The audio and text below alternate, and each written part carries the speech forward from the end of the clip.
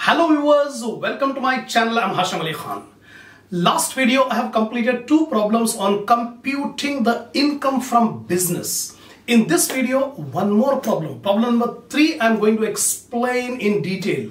So if you want the perfect command on the subject of income tax, watch all the videos and the problems are dependent on the theory. Don't neglect the theory. And always while watching the video keep a notebook calculator pen ready. Because so many provisions are there. When i explain don't simply watch and listen. Note it down the provisions. Then only you can be able to remember. So before starting the third problem i expect my viewers to have a printout of the problems which I have given in the link under my description. Without having the problems, you cannot understand. So take the screenshot of the points which I have written on the board, then I'll explain.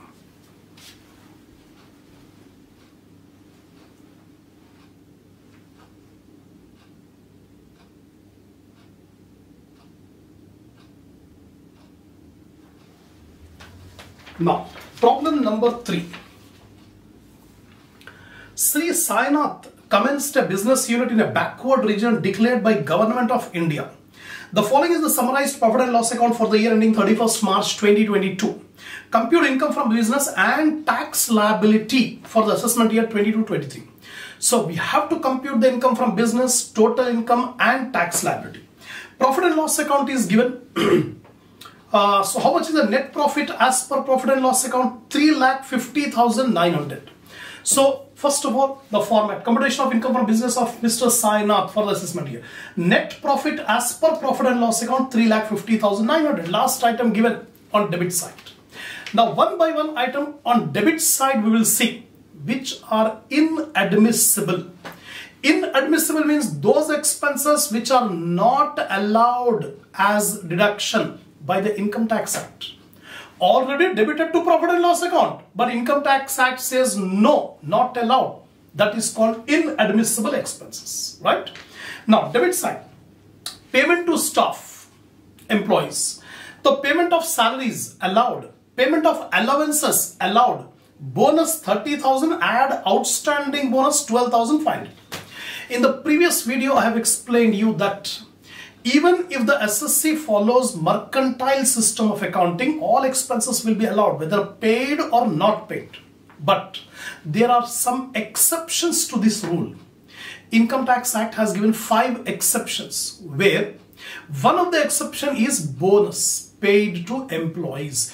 If it is paid, it will be allowed. If it is outstanding, not allowed. Huh, even if it is not paid on the last day of the previous year, the assessee can pay before filing the return. If he has not paid even before filing the return, it will not be allowed. So here no information is given. So simply bonus paid will be allowed. Whereas bonus outstanding not allowed, disallowed. So whatever disallowed is there, that will be added back. So here outstanding bonus 12,500. Disallowed. Bonus paid will be allowed. Bonus outstanding not allowed. Next, perquisites allowed. Perquisites given to the employees allowed. Then expenses on own building business. The assessee is owning the building and that building is used in the business. Municipal taxes of the building allowed as deduction because building is used for the business. So any expenditure on the building is a business expenditure. So municipal tax is allowed. General repairs. These are the revenue repairs. This is allowed as deduction. Whether the building is owned building or rented building, revenue repairs allowed. General repairs allowed. Capital repairs. Capital repairs if it is own building, not allowed as deduction. Huh, capital repairs if it is a rented building, it will be allowed as deduction. Note it down. In the previous problem also we came across this point capital expenditure, capital repairs, capital repairs, own building disallowed, whereas rented building allowed. So here capital repair 32,000 disallowed. So here you can see capital repairs on building 32,000 disallowed. Whereas depreciation at the rate of 10% on this capital repair is allowed. Income Tax Act says if capital repairs are made on the own building then depreciation at 10% on capital repair will be allowed. So here you can see depreciation on capital repair 10% of 32,000, 3,200. Similarly, capital expenditure. Capital expenditure is completely disallowed whether own building or rented building. Again, depreciation at the rate of 10% on capital expenditure is allowed according to income tax rules. So first of all, capital expenditure is debited to profit and loss account, disallowed. So here, capital expenditure 96,000 disallowed, add back. Now 10% depreciation, depreciation on capital expenditure 10% of 96,000, 9,600. This is according to income tax rules. It is not given in the problem. You must remember that depreciation 10% on capital expenditure on repairs. Next, other expenses allowed. Taxes. Taxes regarding income tax advance. Income tax paid should not be debited to profit and loss account as per the income tax rules. It's a personal tax, so it is disallowed. So income tax advance 6500 disallowed, you can see here. Next item, security transaction tax. Security transaction tax is allowed as deduction if there are interest on securities which is a part of the business. If interest on securities are there, income on securities are there and it's a part of business, then it will be allowed. But here there is no income on securities. So this uh, security transaction tax will not be allowed. 8,400. Now, profession tax is allowed as deduction. Nothing to be done. It is allowed as deduction, debited to profit and loss account. Leave it. Next, GST paid, allowed as deduction. Goods and service tax is a business tax. It is allowed. Nothing to be done. Whichever is disallowed, we have to add back. Whichever is allowed, nothing to be done. Not depreciation. Depreciation on land, not allowed as deduction. Remember, Depreciation on building is allowed. Depreciation on machinery is allowed. Depreciation on vehicle allowed. Depreciation on equipment allowed. Depreciation on furniture allowed. But depreciation on land is not allowed.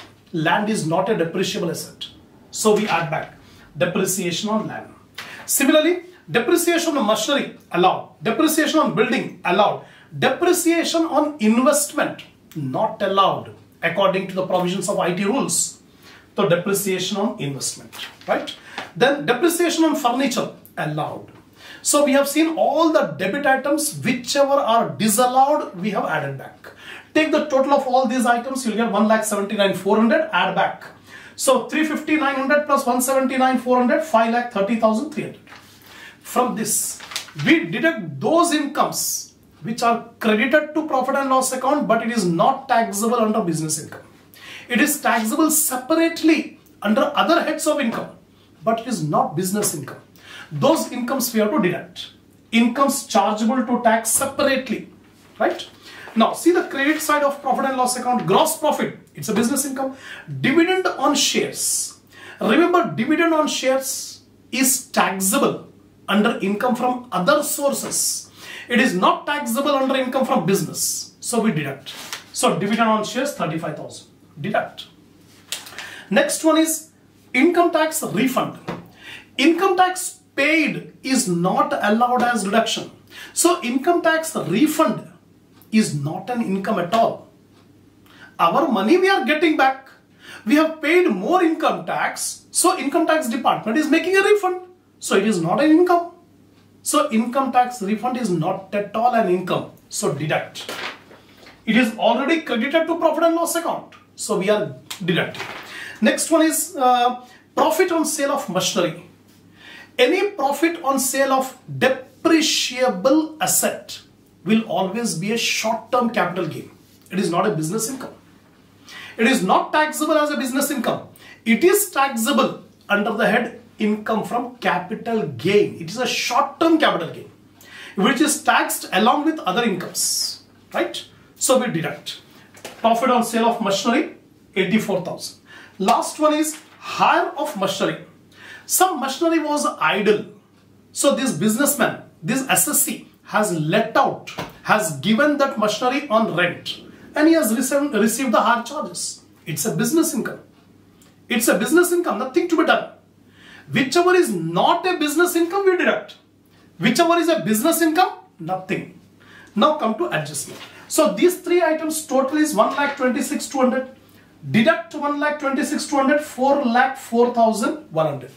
So 4 lakh 4100. Continuation. There is no place, that's why I am writing separately. Continuation. 4 lakh 4100. Now adjustment. During the financial year for setting up the business in backward area notified by government, he received subsidy in GST 10,000, power subsidy for using conventional energy 21,800. So because the business is set up in a backward area, so government is giving some subsidy in GST and subsidy in energy saving.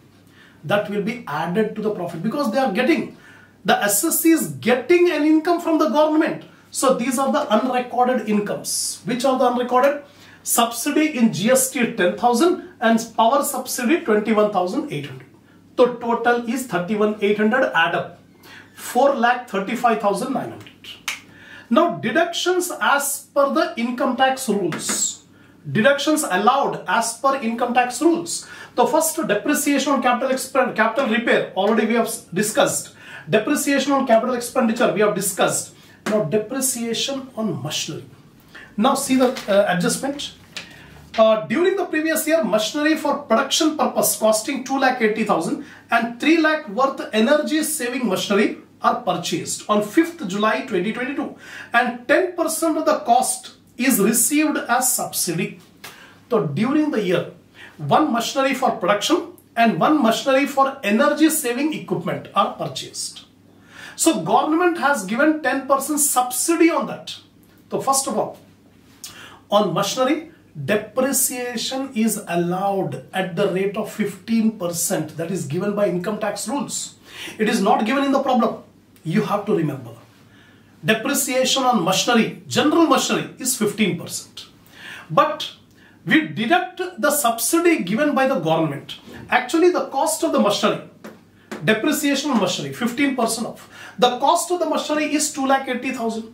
But 10% of 2,80,000 is subsidized by the government. So deduct the subsidy.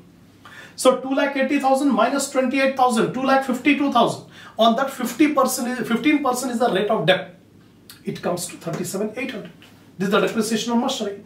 On uh, energy saving equipment, Income Tax Act has given the rate. 40% is the rate of depreciation on energy saving equipment. Here the assessee has purchased energy saving equipment for 3 lakh. 10% of 3 lakh, 30,000. Deduct 30,000, 2 lakh 70,000. So 40% of 2 lakh 70,000. On general machinery, 15%. On energy saving machinery, 40%. That is specified by income tax rules. So 40% of 2 lakh 70,000, 1 lakh 8,000. That's all.